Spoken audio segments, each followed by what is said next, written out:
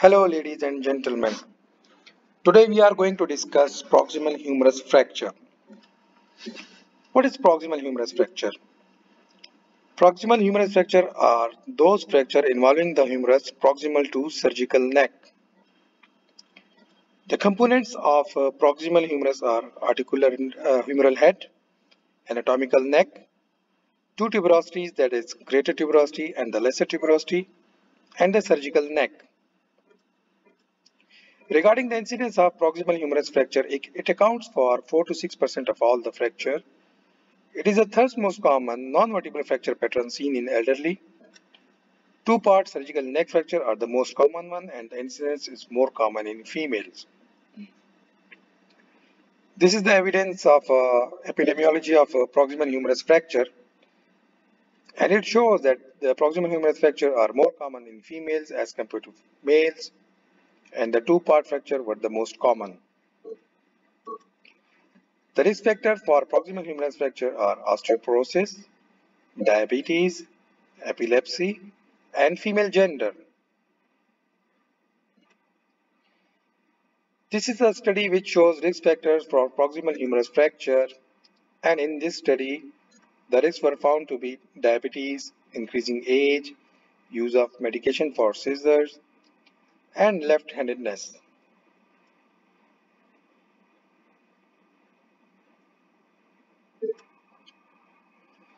Proximal humerus fracture occur as a result of low energy falls in elderly with osteoporotic bone and high energy trauma in the young adults.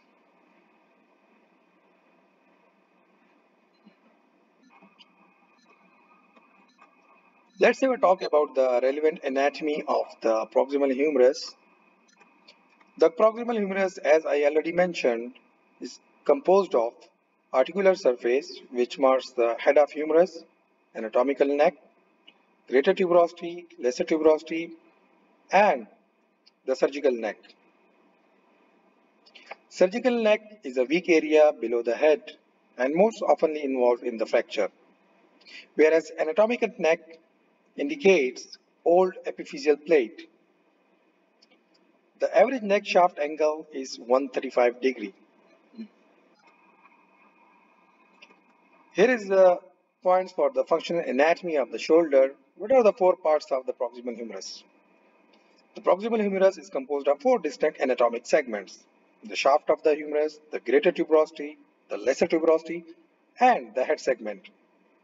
These segments correspond to the four ossification centers of the proximal humerus. The shaft of the humerus connects with the proximal humerus at the surgical neck, just below the tuberosities. The anatomical neck is situated above the tuberosity between the articular margin and the attachment of the articular capsule. Regarding the ligaments of the shoulder joint, coracohumeral ligament, which is attached from the base of the coracoid to the greater tuberosity, its function is to strengthen the rotator interval and the three glenohumeral ligament, superior glenohumeral ligament, middle glenohumeral ligament, and inferior glenohumeral ligament. The function of the superior glenohumeral ligament is to restrain inferior translation at 0 degree of abduction, whereas middle glenohumeral ligament resists AP translation in the mid-range of abduction. And inferior glenohumeral ligament restrained AP translation at 90 degree of abduction.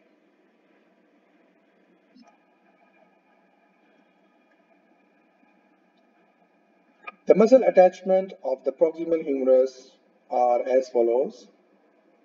On the greater tuberosity from superior to inferior, the three rotator cuff muscles are attached, supraspinatus, infraspinatus, and teres minor.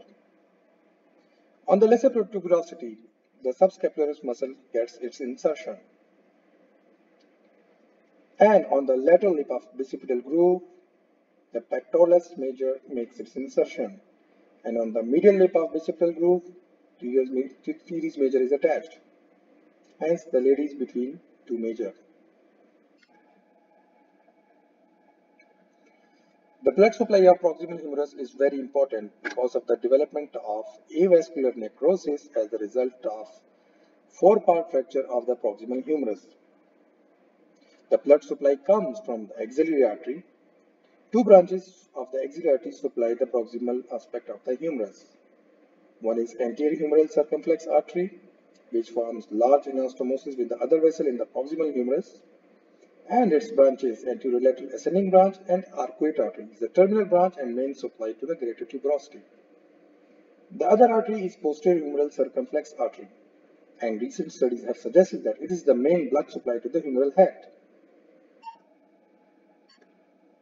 As I have already mentioned, the blood supply of the proximal humerus is very important because of the risk of development of avascular necrosis. Vascularity of the articular segment is more likely to be preserved if more than 8 mm of calcar is attached to the articular segment.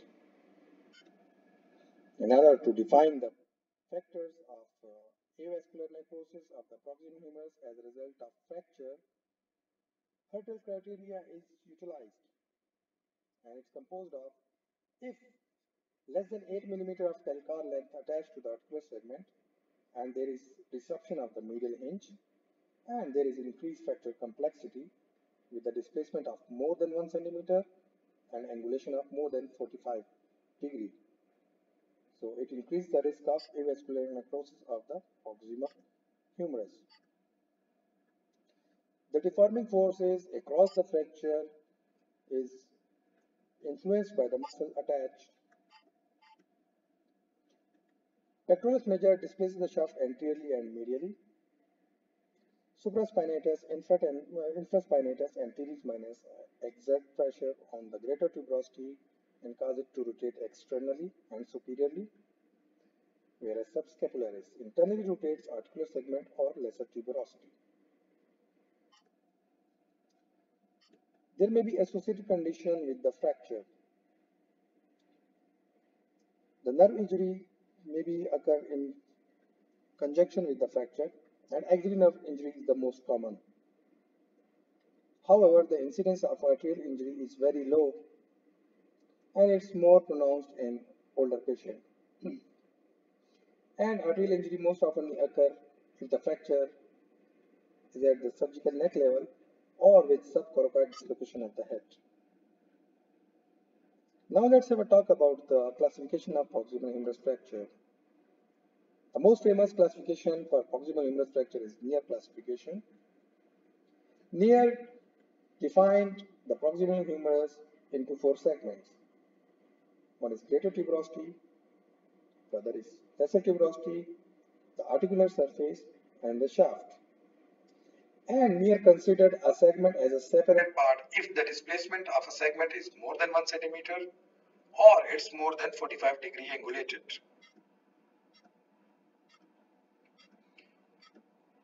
One part fracture are those non-displaced or minimally displaced fracture, usually the humeral neck.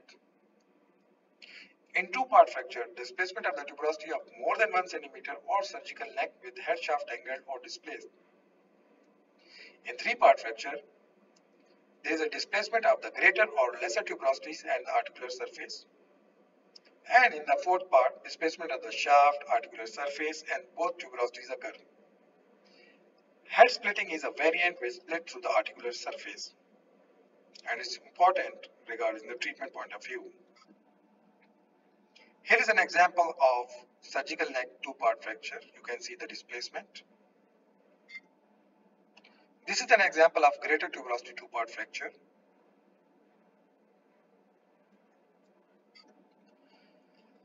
This is lesser tuberosity two-part fracture. This is greater tuberosity three-part fracture.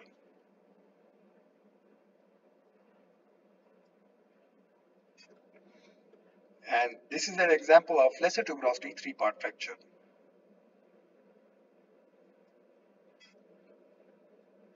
And it is greater tuberosity four part fracture.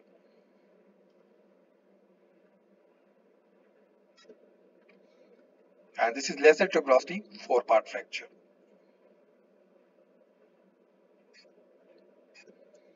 Now let's talk about the clinical presentation of proximal humerus fracture. There may be history of fall, low energy trauma or high energy trauma.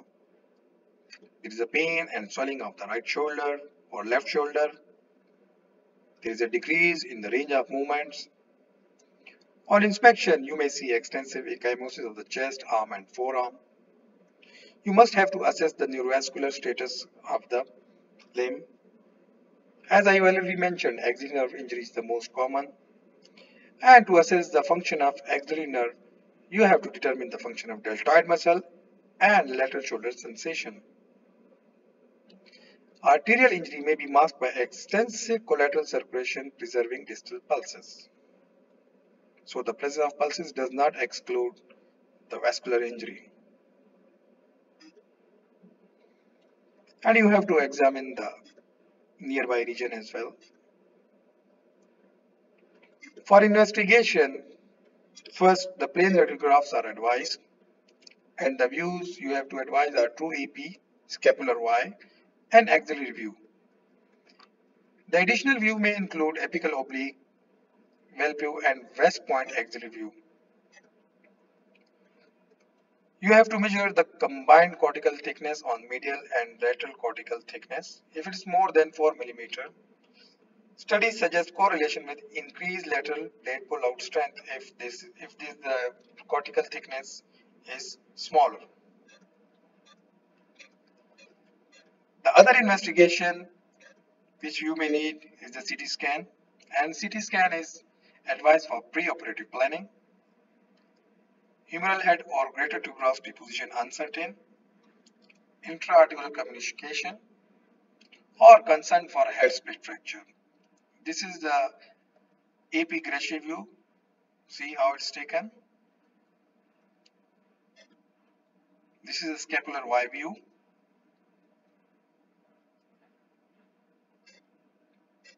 And this is the axillary view in which the beam is directed with the arm abducted towards the axilla. Here you see the axillary view x-ray of the shoulder which shows humeral head. Superiorly you can see lesser tuberosity. Inferiorly you can see greater tuberosity, the acromion, the glenoid and coracoid process.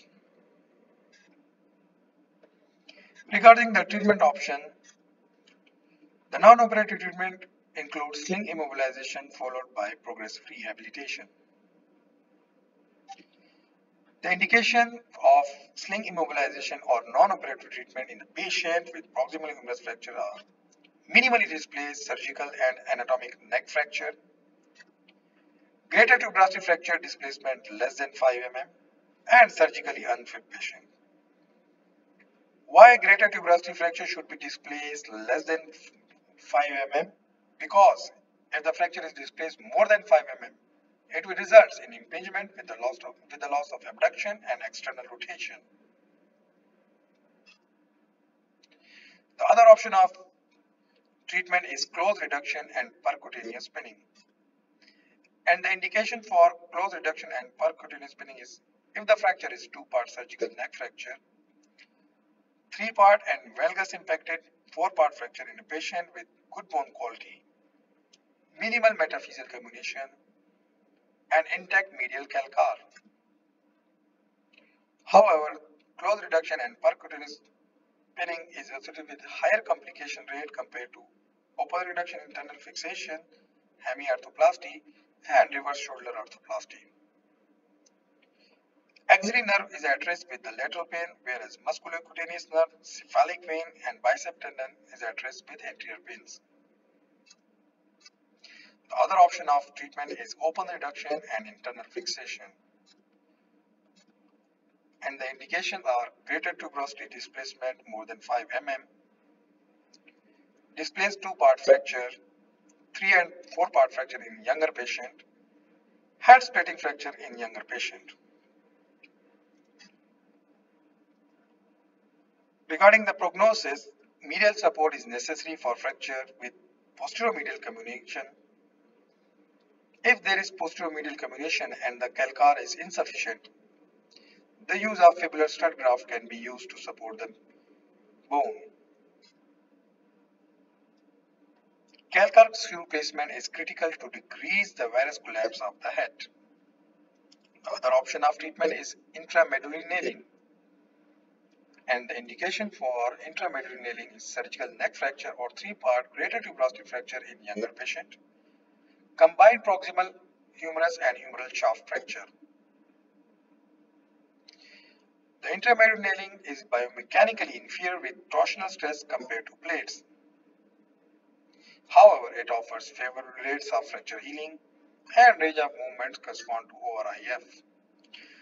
The other option of treatment is arthroplasty, which can be either hemiarthroplasty or reverse total shoulder arthroplasty. Hemiarthroplasty is indicated in younger patients with the age group of 40 to 65 years old with complex fracture dislocation or head splitting components that may fail fixation. Recommended use of convertible stems to permit easier conversion to reverse shoulder arthroplasty if necessary in future. Reverse total shoulder arthroplasty is indicated in low demand elderly individual with non-reconstructible reconstructible tuberosities and poor bone stock. Older patient with fracture dislocation. Regarding the arthroplasty outcome, the outcome is improved if anatomic tuberosity reduction and healing is achieved. Restoration of humeral height and version is achieved Humeral height is best judged from the superior border of the pec major insertion. The prognosis is poor with arthroplasty if the tuberosity non-union or malunion is there or the version of humeral component is more than 40 degree retroverted. Now let's discuss the individual fracture one by one. Surgical neck fracture as I have already discussed is the most common fracture pattern. The deforming force influencing the fracture displacement is pec major muscle which pulls the shaft anterior and medial. However, head and attached tuberosity stay neutral. The treatment options include non-operative if minimally displaced and if displacement is more then either technique, close reduction, percutaneous pinning, plate fixation or IM nail can be done. Now let's discuss the greater tuberosity fracture. As you know, the greater tuberosity gives the insertion of three important rotator cuff muscles, supraspinatus, infraspinatus, and teres minor. So these muscles pull the fragment upward and laterally.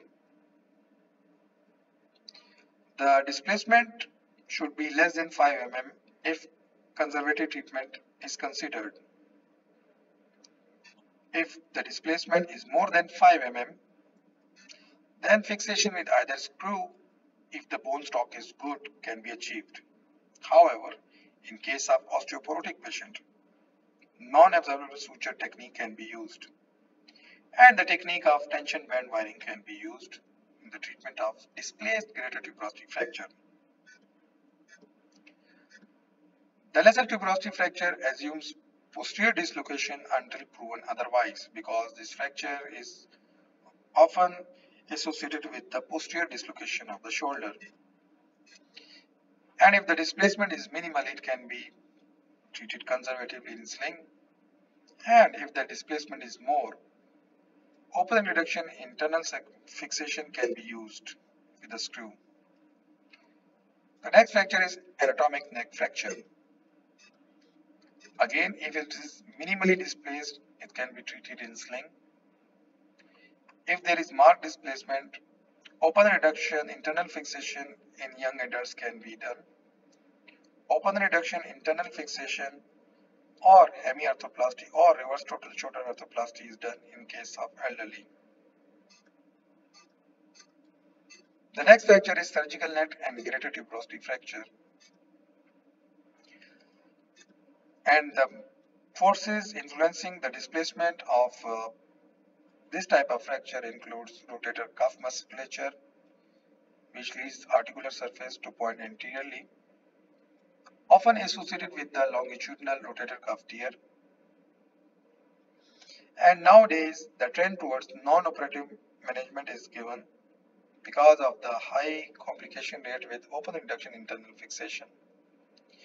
In case of a young patient, percutaneous pinning or IM fixation or locking plates can be done. In elderly patient, hemiarthroplasty with tuberosity repair or reverse total shoulder arthroplasty can be done. Four-part valgus impacted fracture. This is a special type of four type four-part fracture. There is a valgus impaction of the shaft of humerus into the head. Why this fracture is important? Because there are low rates of avascular necrosis of the head of humerus and it results uh, because of the axial trauma to the abducted upper limb and direct impaction between the humeral head and the glenoid cavity.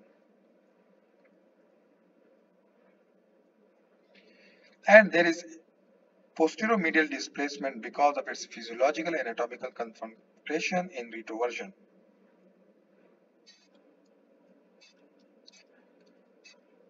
Radiographically, you will see the alignment between the medial shaft and the head segment.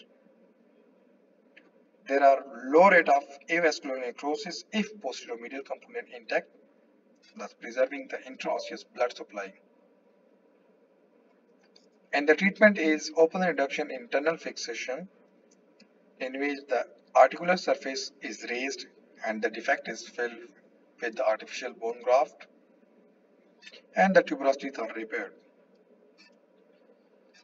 Now we will discuss four-part head splitting fracture.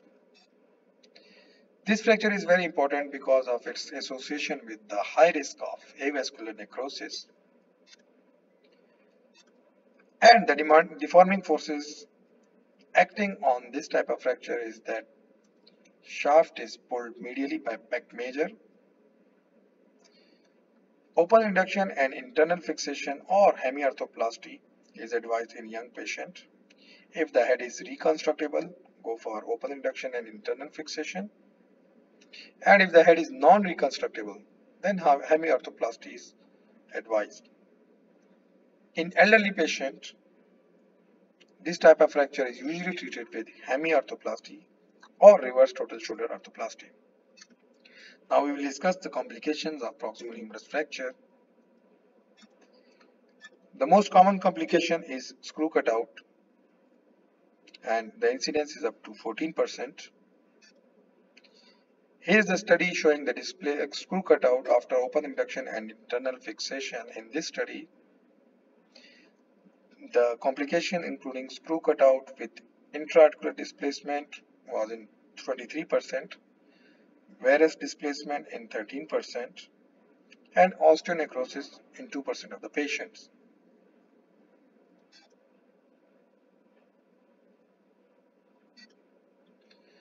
The other complication that may occur in proximal humerus fracture is avascular necrosis.